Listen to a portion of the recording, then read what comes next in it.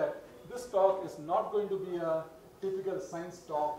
You have to sort of lace it, spice it. Did you use the word spice, Nandini?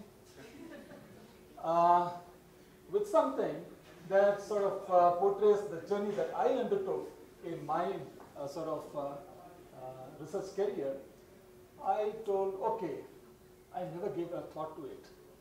And when your talk is on the last day of a conference, you actually postponed preparing our talk for the last night of the talk. And so I ended up sitting last night up till 2 o'clock in the morning trying to figure out what could be the best that I could give. And believe me, trust me, not just now, but through the talk, that I'm going to present to you something. And presenting that actually humbled me. I think Liz mentioned yesterday, and today Dr. Sanamki also mentioned, that while preparing for this talk, you're actually trying to sort of make a confession to yourself of what trajectory you took in your research career. And that humbling thought doesn't come uh, uh, out of the ordinary context. You have to actually put a little bit of effort in that. Third reason, and probably I, I, would say, I would say that I was feeling honored preparing for the talk is normally guys like Tim are the ones who give such talks. I'm an ordinary scientist. And I thought it's a deep honor, great honor for sort of asking an ordinary scientist to sort of so-called put his own travel journey up in the front. So let's see how it goes. The title of my talk, for obvious reasons, is What a Random Walk. And perhaps all of you would realize after a certain bit of research career that yes, it had been a random walk. You had probably not thought of it as you sort of started off your career. So my talk is divided into four sections, so you can actually see how I progress in the talk.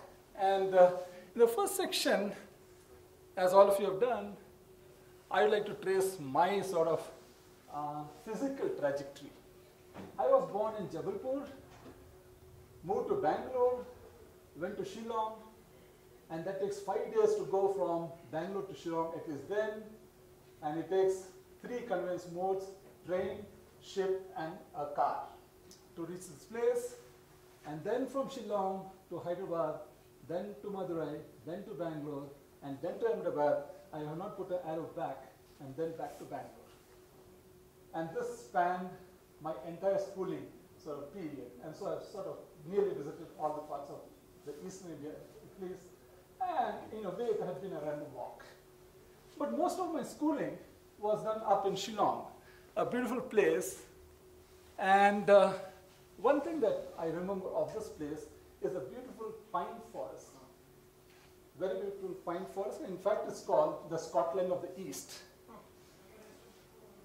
I still remember, recall the pine resin smell and earthquakes and the Chinese bomb threats. And that's real, because in 1965, we had the Indo-China War, and we would be bunkered, and every school, every public institution would have bunkers, and when the siren comes in, you have to sort of rush into the bunkers. Now, at school, all of these guys, starting from Mike, I think Upi, and few others told, I was very good in maths. I was absolutely anything but good. I didn't know what was interested, what was most interesting to me. But I knew one thing, that climbing hills was my passion. And there is something in the hills that attracted me all the time.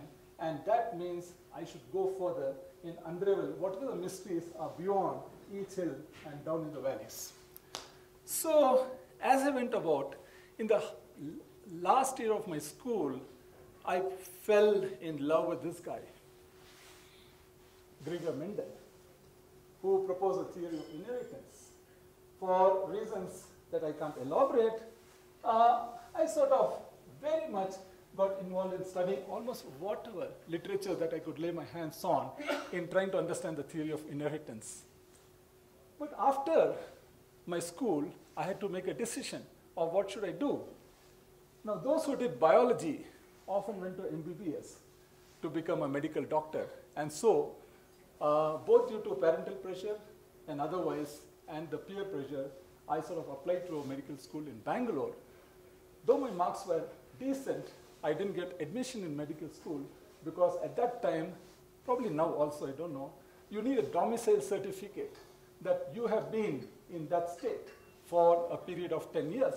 And you know, I've traveled all over. I've never stayed in any state or any place for more than 10 years, and so I was a misfit in trying to get a medical seat. But I think in retrospect, it was good that I was denied a medical seat. Then I considered doing BSc. To me, BSc was a little non-directed, non-targeted sort of course, and I thought, no, let me not do BSc.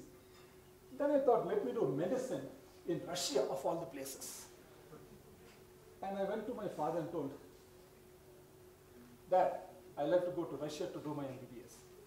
He told me, only orphans go to Russia. and so that was closed. And since I was so much interested in genetics, uh, what happened? I looked around in Bangalore, the institutes that would offer me some sort of uh, opportunity to do some genetics, and the only place that offered me to do some research or some study in genetics was the University of Agricultural Sciences, Bangalore.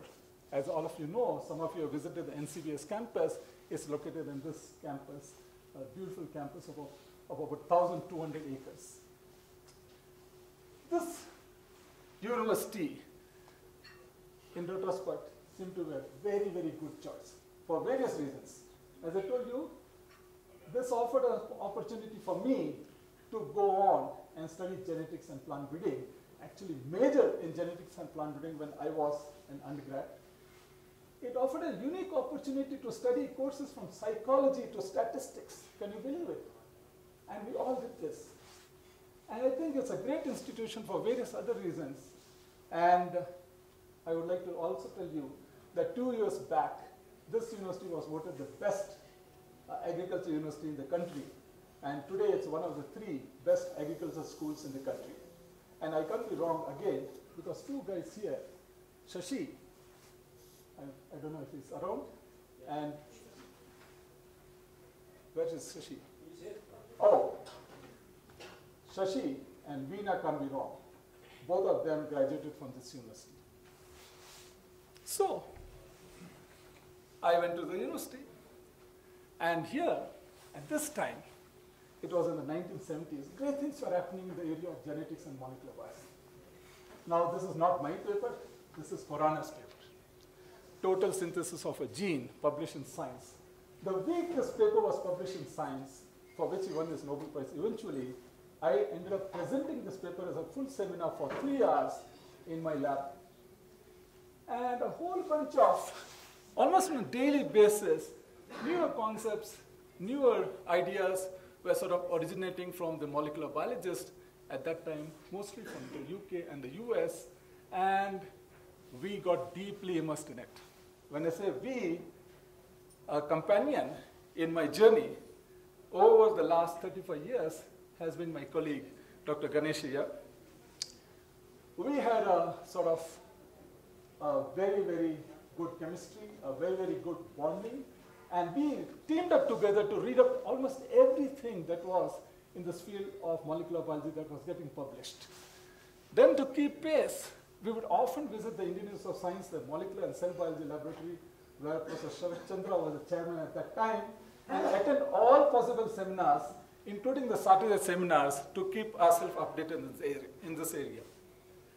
But at the same time, in the 70s, there's another major revolution happening in the global science scenario, and that was the deep conceptualization of evolutionary biology theory, and two very, very major books that were published at that time, almost in the same year, was Sociobiology, the new synthesis by Edward Wilson from, uh, from Harvard, and Richard Dawkins, the selfish gene uh, from Oxford. I don't know if any of you have actually had a feeling of being completely devastated after reading the book. Have you? By reading a book, have you been so disturbed or devastated that you feel disoriented for a whole week or two weeks? No, I was, I was that character. After reading The Selfish Gene, I was completely disoriented about life.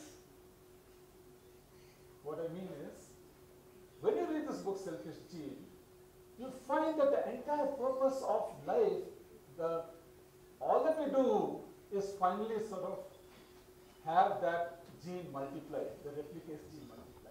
Is that all life is about? And it shattered me to no end.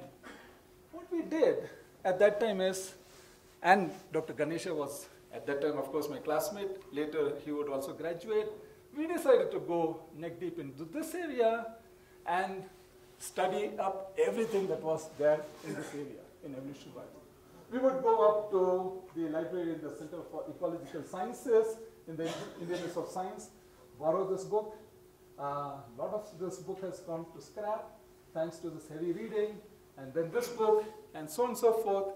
And what happened at the end of all of this, we sort of had complete length and breadth of knowledge in area of molecular biology that, is, that was being discovered, uh, area of evolutionary biology that was actually being discovered at almost the same time, and now the issue is, or issue was, what do we do with all of this?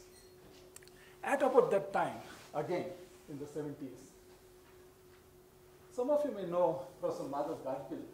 Uh, he He's a mathematical ecologist, evolutionary biologist, and later, of course, he wore different hats. He founded the Center for Ecological Sciences at the University of Science, and we had got his acquaintance a few years earlier. He conducted a meeting in a very beautiful place called Mahabaleshwar, uh, which is in the Western Ghats. Some of you, if you have time, should go to this place. And uh, at Mahabaleshwar, they would have seven now, when I came to know about this workshop, I went to Madhav and asked him, Madhav, could I attend this workshop? He told Uma Shaanker, uh, all of the sort of registrations are over, I can't take you. Then I asked Madhav, can I come on my own uh, as an unofficial participant? He told, fine, but you have to pay for your own cost. I told, fine. I went up to Mahabaleshwar and uh, attended this meeting. I like to relate one anecdote. I was very low in cash. And Mahabaleshwar at that time, it was winter, it was very cold. And I rented a room in a hotel, not this sort of hotel. And that was really cold. The first night was miserable. The second day I went up to the owner of the hotel, who happened to be a Rotan lady. I asked her, can I have uh, an extra blanket? So you know what she told? Me? She told in Marathi, if you need an extra blanket, you have to pay don, don panas. Don panas, those of you who know Marathi, is 2 rupees 50 paisa extra for a blanket each day. So this meeting was for 15 days. And I ended up paying 2 rupees 50 paisa for the blanket every night for the next 14 nights. And I was broke. My father was working in the post, post office in uh, Bangalore. So I called my father, he called the postmaster in uh, Mahabaleshwar to lend me 100 rupees to tide over this workshop. But look at what happened. At that workshop were a clutch of extraordinary, extraordinary people. Obaid was in the workshop, and that's the first time I'm sort of meeting him for a few days at a time. Bob Trivers, Anindita mentioned about parent-offspring conflict. This guy was there. He is Sir John Maynard Smith. He incidentally is professor of aerospace, he was professor of aerospace engineering in the University of Sussex, converted into evolutionary biology, and was known for very, very many uh, theories in evolutionary biology. This person is M.K. Chandrashekaran, who is regarded as the father of chronobiology in India, started the School of Chronobiology in India. This is Mary Jane and William Eberhard, both of very international fame in uh, advancing evolutionary theories to explain insect reproductive strategies.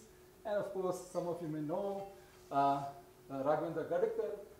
Incidentally, Raghavendra, I and his colleague Niranjan Joshi and another lady called Priya Davidar from Salim Ali were the four students in this workshop. It was great, great time.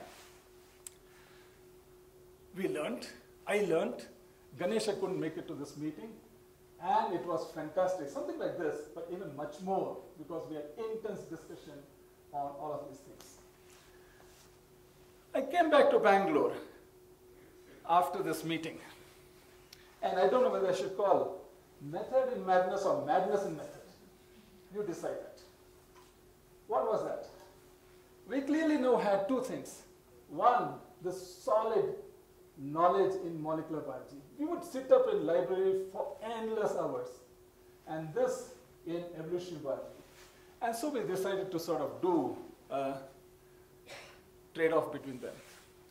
Evolutionary biology versus molecular biology. Which should it be that we should concentrate for a further sort of career path? And believe me, again I'm going to repeat, please take me not at face, value, intrinsic value, because everything that I'm trying to tell you is as honest as it can be, uh, or it should be, because I've taken this as a real conventional sort of uh, lecture rather than just giving you a scientific talk. So we pitted this against each other and found that there is one major difference between these two sort of biologies. This is a biology of how, attending to the proximate mechanisms that undergo in a cell in multiplication, in differentiation, and so on and so forth. We have heard a lot of lectures on that. Uh, while evolutionary biology is a science of asking why.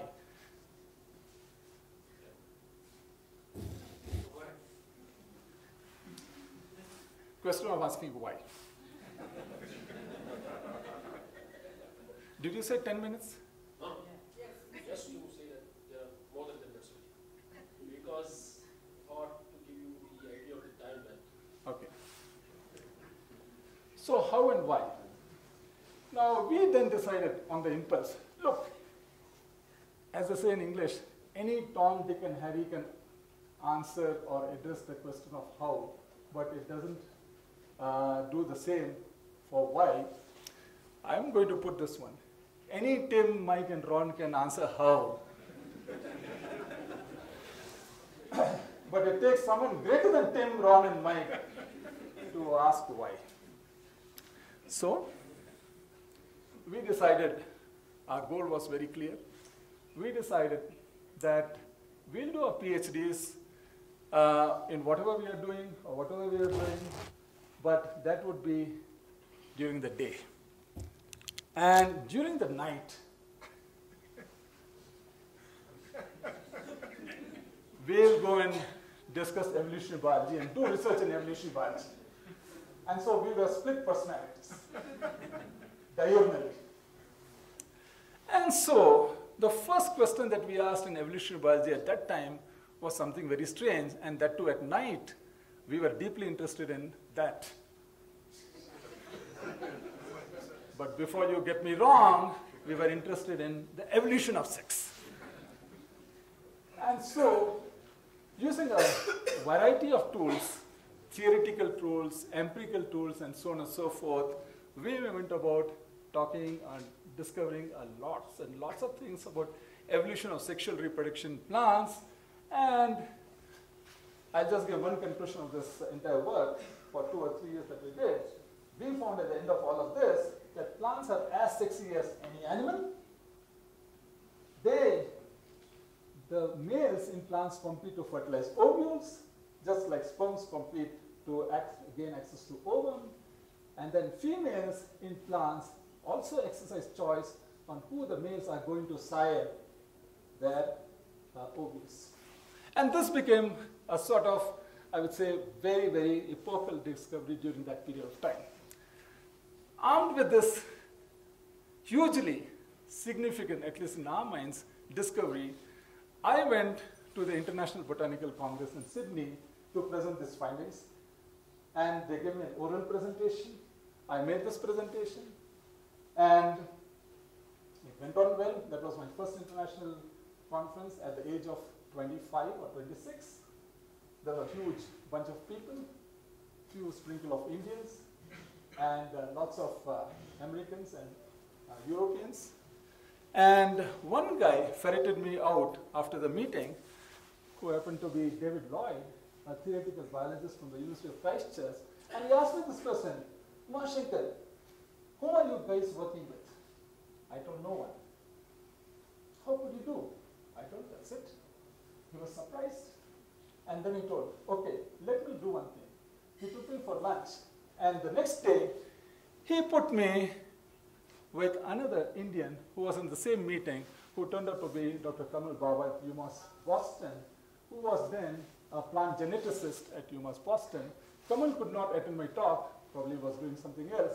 And so David Lloyd told Kamal Bawa of this entire work, and Kamal Bawa became very much interested about the work that we were doing, and for two, nights at a row, he sort of took me out for dinner. During that time, another anecdote, someone told me, if you go to Australia, okay, by the way, I went to Australia thanks to the meager fellowship that the Australian Academy of Sciences gave me as a young investigator. Another French lady in Bangalore gave me $100. So this is what I went with. But before going, someone advised me, book a ticket for 21 days. That's cost, that will cost you much less than if you book a ticket for one week. I don't know who this guy was, but I took his, I took his uh, uh, advice, and that's so much about giving advice. And after one week of this conference, I find that my pocket is once again. now I can't ask my father for help. So what I did, I ended up actually working in a hotel for the rest of my time, trying to earn my sort of uh, various uh, requirements for the next whatever uh, 14 days of my time. But then coming back to this guy, David Lloyd. What happened to this guy? Years later, I learned David, who, has been, who had been a professor at University of Christchurch, uh, died of uh, a very tragic circumstance. He died of acrylamide poisoning, not poly, acrylamide poisoning. How could a theoretical biologist die of acrylamide poisoning? Puzzling, isn't it? The long and short of it was, when David, as an assistant professor or an associate professor, went to US for a sabbatical, he fell, in, fell into an affair. When he came back to New Zealand, his wife came to know about this affair. And his wife was a biochemist. and it was suspected that his wife laced David Lloyd's coffee with acrylamide. So be careful, men.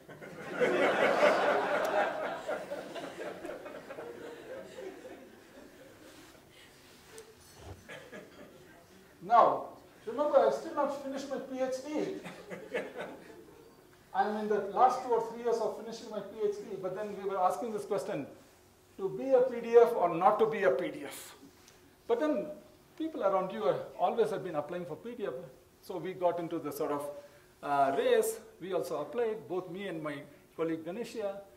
And what happened is we got these uh, successful applications uh, through to certain universities in the US, but then we were asking, should we go or not? So both of us on the spur of the moment decided, no, we will not go. And he was more emphatic, no, I'm not going. And I thought, okay, maybe I was not so sure. So what I did with my PhD award, PDF award, I sort of crumpled this letter into the waste paper basket. But what would happen? The next day I would go to the waste paper basket, take it out and recrumple it. and that was happening for three, four days. And one senior professor in my lab told, Uma, make up your mind today and you almost had a gun. And what did he make me do? That. Tore up the application award. And that is goodbye to the PDF. And so I didn't go for a PDF at that time. We finished our PhDs and we went about asking one other question,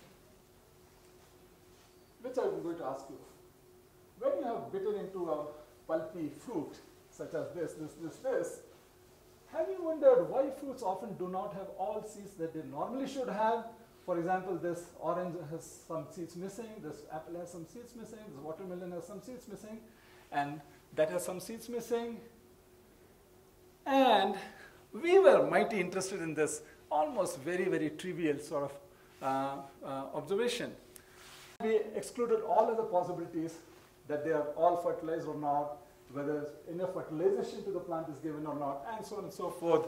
The bottom line is, after few years of research, we found that this pattern is best explained by what we then called sibling rivalry that occurs between sibs that are sort of sharing the same food as much as the fledglings in a bird are sharing the same nest. You have this sort of deep-seated sibling rivalry of fratricide happening all the time. So we went on looking at the mechanism, but finally, to conclude that part of my story, uh, we found that plants are no different from, from that of animals in sort of engaging in the siblicidal conflict, leading to a whole richness of uh, sort of uh, phenotypes. And these are some papers that we published in Annual Review of Ecology and Systematics, Nature and Nature. I just put this across just to show you that we are no less than biomedical scientists who publish papers by the week in Nature Science and so on and so forth. But having done this, almost about three or four years after my PhD, after our PhDs, we felt as though we won the Nobel Prize. And we got global prominence left and right from, mostly from the West. What do you do when you get a Nobel Prize? Tim? One thing all Nobel laureates do, or at least most of them, they go into a bit of scientific sterility.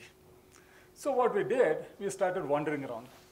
We got a Fulbright, and with the sort of uh, excuse that we will write up a monograph on parent-offspring conflict in plants to Princeton University Press. Things were all sorted out. We went to the University of Massachusetts at Boston in, in uh, Dr. Kamal Bawa's lab. We didn't write up the book. We attempted to write the book. What happened? Let me tell you, very interesting. In 1991, when we went here, we didn't have TVs in our homes. Not, no color television, no 24 by into 7 sort of uh, TV. When we first landed in Boston, we were put in a hotel. And the only thing that attracted us in Boston was the 24 into 7 TV and the HBO. Three days in a row, we saw more movies than I ever saw in my life.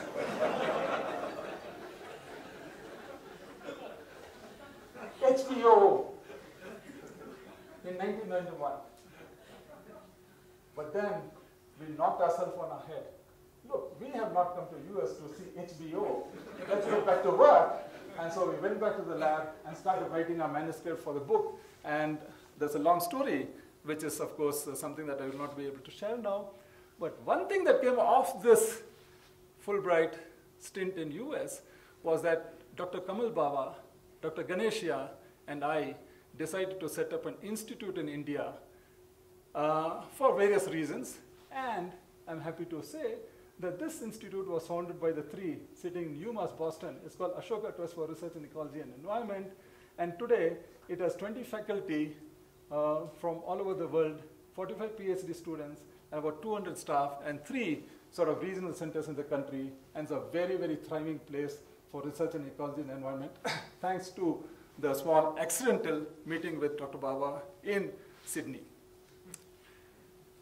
Let me, uh, we also had yet another stint in uh, um, uh, Boston in 1996, but this took us to different lanes.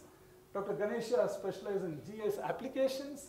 I specialize in conservation genetics, and we drifted away for a while from our first love, that is evolution biology. But this had its own implications, and in just one word, I would say that he went on to establish the most, I would say, extensive databasing of biodiversity in the country and for, matter, for the matter in the world, which is uh, funded by DBT Meenakshi is here, and few other DBT people would recognize. Thanks to that, it's one of the largest databases in the world, I would say, on all sorts of biotic, uh, bioresources that you have in the, in the country. And I went on to develop a lab on conservation genetics, but all said and done, these are not really our passion, but we did it. Last after a little bit of accident, we went into an uncharted territory. And this uncharted territory is something that might be related to few of you. Many plants produce phytoestrogens. Okay? I won't go into those explanations. Lots of plants produce acetylcholine, neurotransmitters. And lots of plants have aphrodisiac property. You all know, isn't it? We asked ourselves one question. Look, evolutionary biology is a question, is a science that asks the questions of why. We asked this question, why the heck should plants have acetylcholine when they have no neural systems to fire? Why should they have estrogen when they have nothing like the animal section system? Why should they have aphrodisiac property when they dash dash? And one of the ways we tried to answer this question was not trying to fuddle up with this one, but ask one very simple question. Why the heck do plants have laxatives when they have no bowels to move? All of us have taken laxatives. I mean, look, one of the greatest misery is being constipated, both in mind and elsewhere. And plants help us relieve that by loading the seeds with laxatives. Now we cracked this question. I won't go to the details of it for want of time. We cracked this question, but the small answer to this entire story is that plants have laxatives, plants have acetylcholine, plants have whatever compounds, including aphrodisiac, not for themselves, but for certain other exigencies or contingencies that the plants have to now deal with. I am not having the time to do that, but this gave us a very, very important insight. And that insight is, look, if you understand the why of something in plants or in microbes, you can probably answer questions much better than just studying the mechanism. And so, it brings me to the last part of my talk, extrapolations. I ran into people like Ram Vishwakarma, who's the director of the Triple M Jammu, a uh, few people in Germany, few people in ISC, and all across the world. And uh, I learned from them. Sorry, I learned from them few things. Take the National Cancer Institute in the US. It had been engaging in drug discovery, especially on cancer, for the last so many, many years. It screened 35,000 plant species, uh, plant samples, 12 to 13,000 species, 1 lakh uh, odd extracts, and so on and so forth to discover molecules that could address the issue of cancer or proliferation. Thanks to this entire process, uh, discovery of paclitaxel and camptothecin came about from this work. But if you look at the time event for the discovery of Taxol, from the discovery from, its, from the bark of Taxus brevifolia or from baccata to the bedside, it took a whopping 31 years. We asked ourselves one question. Can we do something that can reduce the path of discovery of drugs or new uh, uh, knowledge from start to end in a shorter period than it normally takes for conventional laboratories to do this discovery. And in the, all of this flow diagram, the major rate limiting, rate limiting step is not your HTS, not your structure determination, not your optimization and so on and so forth. It lies at what is the material that is your starting point. If your material is lousy, you end up with lousy result. If your material is smart, you end up with smart results. And so we decided, can we shorten the search time to discover druggable properties from plants, microbes, insects, and whatnot? So what we did, we went about. I'll just give you one example. I'll finish in three minutes. Of the evolution of territoriality. Now, evolution of territoriality. Territorial behavior is intrinsic to all of us, whether we are ants, tigers, or human beings. And look at this figure here, and it's contextual. How many of you can tell me what this figure is all about? I'll get your coffee not at my cost, the hotel's cost. South versus North Korea? Sorry? Is it South versus North Korea? Sorry? Forest fires? No? No, it's light on, on light on top of space view. Space view of space view of what? Space view is right. Look at this. Look at this. There are three things that is visible from space. A, the Great Wall of China. Second, the Great Barrier Reef in Australia. And this is a 3,500 kilometer long orange light that lights up India and Pakistan. This orange light that you see all the way from Srinagar or Kashmir goes to Gujarat and it can be seen from satellite. This was taken in 2002 2012 by the International Space Shuttle. This is Srinagar. That's Lahore. That's Delhi. This is, I think, Rawalpindi. Now, all that I'm trying to say is nations are territorial. Each nation wants to have a territory to itself, right?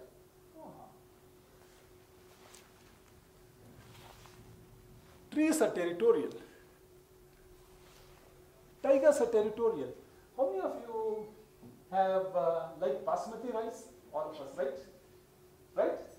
And all of us like basmati rice for one thing, the smell. I have to end right. I am waiting for all of us like basmati rice. Have you been very close to a tiger in a tiger zoo? Yes or no?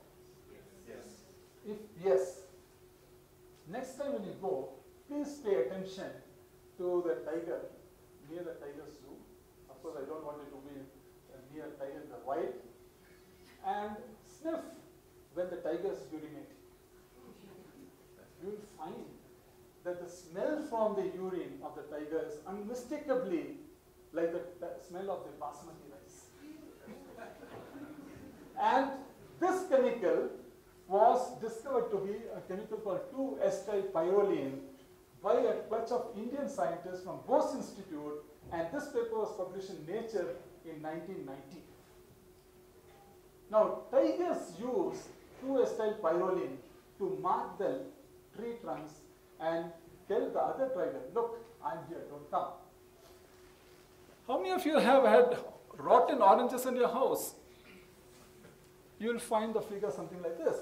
You have moldy growths there, but something that you see of this moldy growth there, they don't actually embrace each other. They leave behind a no man's land, so to say, between different foci. Right or not? And if you actually do a dual culture assay of the fungus, you will actually see this very, very clearly. That's a no man's land left behind two fungal foci in a petri dish.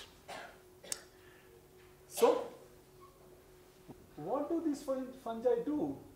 They secrete into the media an inhibitor that inhibits ergosterol biosynthesis. Ergosterol, by the way, is a constituent of the mycelial cell walls. If you don't have ergosterol, the cell walls are not made, the mycelia can't protrude, and there is a self-limiting growth of the two foci. This compound was later discovered by him and Merck in the US to be a compound called compactin. Merck went about doing a small derivatization of this compound, compactin, and produced lovastatin, the methyl group replacing the hydrogen group there. Lovastatin later turned out to be the world's largest statin drug, and the sales of that is a huge proportion in the North American market as well as the rest of the world. And look at this. The entire discovery owes its origin to understanding the territorial behavior of microbes. In our lab today, inspired by these examples, we are now trying to do something that I pompously call boundary chemistry. Chemistry operating at borders. What happens when fungal uh, species are challenged by the bad neighborhood? Do they produce novel compounds? How are they, and what value do they have in terms of bioactivity and druggability? So, in short, what happened is the culmination of all of this long story is that we today have an algorithm that instead of doing random search, wasting time, and uh, time, effort, money, and so on and so forth, we can probably now do a targeted search where we can drive the search by ecological knowledge and understanding the evolutionary rationale behind those uh, events. This paper was published in some a journal called Current Drug Targets and it received a huge amount of response from where the pharma industries who come now to ask us, can we speeden up their research effort in trying to now find druggable compounds in the relevant industry. So, as I told, I think in the group meeting, large proportion of the success that we have in a lab, or at least what I call success in lab, are due to all these guys. We have a lot of fun uh, on and off the lab. Go to these meetings, make our own chapatis, look at that. I'm also participating, not just uh, waiting to be served. This guy, who was my master's student, uh, did some very brilliant work.